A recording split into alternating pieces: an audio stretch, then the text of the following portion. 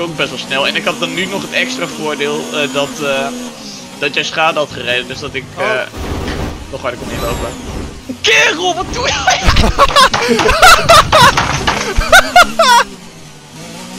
What the fuck is dit? Oké, zal ik even vertellen wat er gebeurt?